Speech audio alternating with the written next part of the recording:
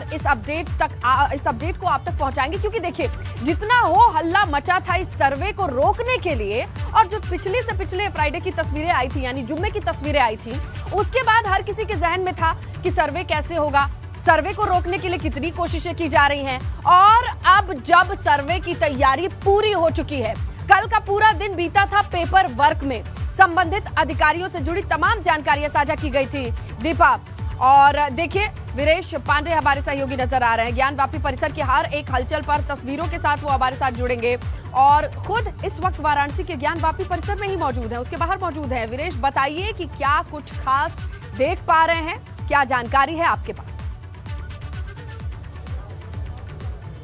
स्नेहलता, ये बास फाटक का इलाका है, यानी एक किलोमीटर दूर, गेट नंबर चार बाबा विश्वनाथ कॉरिडोर से। और आप देख सकती हैं कि ये पुलिस छावनी में तब्दील हो चुका है। मीडिया को रोक दिया गया है, दर्शनार्थियों को रोक दिया गया है, रास्ते बंद हो चुके हैं और यहाँ पर सीआरपीएफ तैनात है, बीएसएफ के जवान तैनात है, रैपिड एक्शन फोर्स के जवान तैनात हैं पीएससी के जवान तैनात हैं और साथ ही साथ यूपी पुलिस तो मौजूद है ही। और इस तरीके से यहाँ पर श्रृंखलाबद्ध होकर ये खड़े हैं कि आपको देखने में मिलेगा कि ये किस तरीके से ये लोग जो पुलिस के जवान हैं वो खड़े हैं। ये तमाम ऐसे लोग हैं। ये हर तरफ़, हर गली में इस तरह से देखने को आपको मिलेगा। बाबा विश्वनाथ के दर्शन के लिए चार गेट है, लेकिन केवल एक गेट खुला है। दर्शनार्थियों को, जो बाहर से आए हुए दर्शनार्थी हैं, उन्हें बड़ी परेशानियों का सामना करना पड़ रहा है। जो विदेशों से आए हुए हैं, अन्य प्रदेशों से आए हुए हैं, उन्हें भारी समस्याओं का सामना करना पड़ रहा है।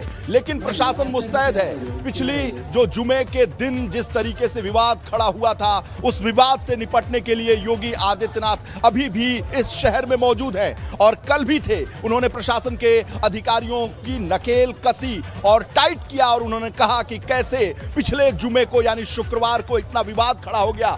याद होगा दर्शकों को कि ये वही इलाका है कि पिछले शुक्रवार को भारी पुलिस बल के मौजूदगी में, पुलिस कमिश्नर सतीश गणेश की मौजूदगी में और बनारस की पुलिस की मौजूदगी में भी बहुत हो हल्ला हंगामा हुआ था। और ये वही इलाका है।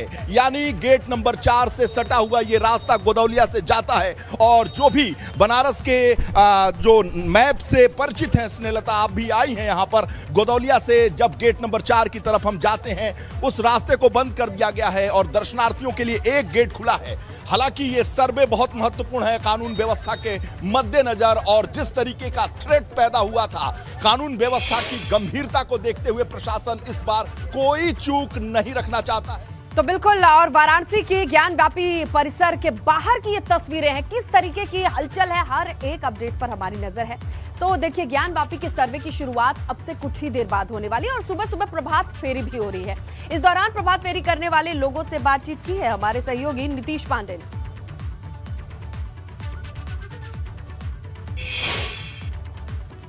धार्मिक नगरी काशी का ये स्वरूप आपको सुबह सुबह दिखाई देगा। लोग यहाँ पर पाठ करते हुए सड़कों पर जाते हैं और इसे प्रभात फेरी का रूप कहते हैं। तो आज मन में क्या है? आज एक दिन भी है। अट्ठाईस अप्रैल उन्नीस सौ अंठानवे से हम लोग का ये कंटिन्यू प्रभात फेरी चलता है। और बाबा की नगरी में, क्योंकि धार्मिक नगरी है, हम लोग का एक उद्देश्य है कि बाबा के दरबार में हम लोग अपनी प्रतिदिन हाजिरी दें। और इसी उद्देश्य को लेकर के प्रतिदिन हम लोग प्रातः ये जाप करते हुए भोलेनाथ के मंत्र का दरबार में और फिर वहाँ से अहिल्याबाई घाट पे जा करके फिर स्नान का कार्य हम लोग करते हैं। आप महादेव के भक्त भी हैं रोज़ाना प्रभात फेरी में भी जाते हैं। तो संदेश क्या है? आज की इस प्रभात फेरी का अमन चैन का संदेश संदेश तो यह है कि बाबा का वो जो है अवैध रूप से जो कब्जा है वो मुक्त होना चाहिए। आज के सर्वे के बारे में पता है ना कि आज सर्वे टीम जाए तो प्रार्थना क्या है प्रार्थना यही है कि बाबा का जो मुगलों के द्वारा ध्वस्त किया गया वो पुनः जो है स्थापित हो। इसलिए स्थापित हो कि जितनी हमारी मूल धार्मिक नस्ती थी जिससे हिंदुओं को ताकत मिलता था उन्हीं स्थलों को क्यों तोड़ा गया? लेकिन सौहार्द के संदेश के साथ सौहार्द के संदेश सब मिल के सब मिल के कोई बवाल न हो। हम जब किसी का नुकसान नहीं किए तो हमारा क्यों कोई नुकसान किया? पूर्णतः जो गुलामी की प्रतीकें हैं उसको मिटाना चाहिए चाहिए।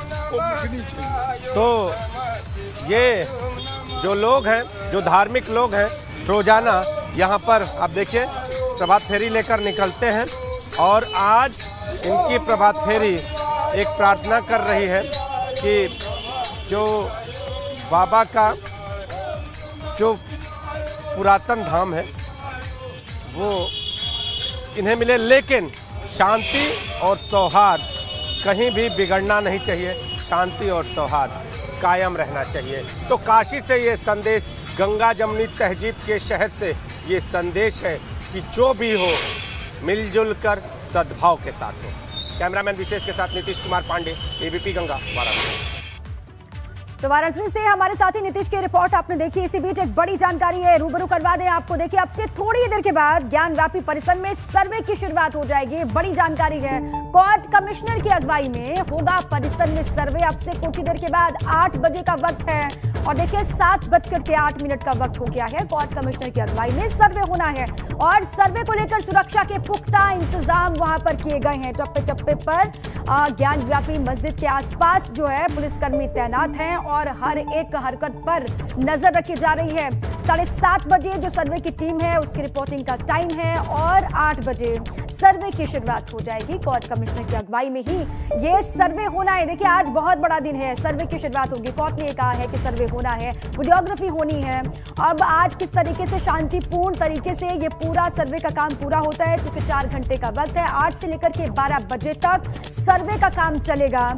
और ये कहा है, मुस्लिम पक्ष की तरफ़ से भी ये भरोसा दिया गया है कि जैसे कि कोर्ट के आदेश हैं, उसी आदेश के अनुरूप सब कुछ शांतिपूर्वक होगा, ऐसी उम्मीद वो भी कर रहे हैं और वो पूरा सहयोग करेंगे। सर्वे में ये बातें उनकी तरफ़ से निकल के सामने आई थी। देखिए, सुरक्षा के लिहाज से भी यहाँ पर पुख्ता बंदोबस्त किए गए हैं। पुलिस के जवान यहाँ पर आसपास मौजूद हैं पूरे इलाके में। अब से थोड़ी देर के बाद ज्ञान व्यापी परिसर में सर्वे की शुरुआत हो जाएगी। और टाइमिंग देख लीजिए आठ बजे से शुरुआत होनी है साढ़े सात बजे अधिकारी यहाँ पर पहुँच जाएँगे। जो सर्वे की टीम है वो यहाँ पर पहुँचेंगे। जो आ, दोनों ही पक्षों के लोग हैं उनकी भी मौजूदगी होगी। और 12 बजे तक ये पूरा सर्वे का काम चलेगा। चार घंटे ये कहा जा रहा है कि सर्वे होगा।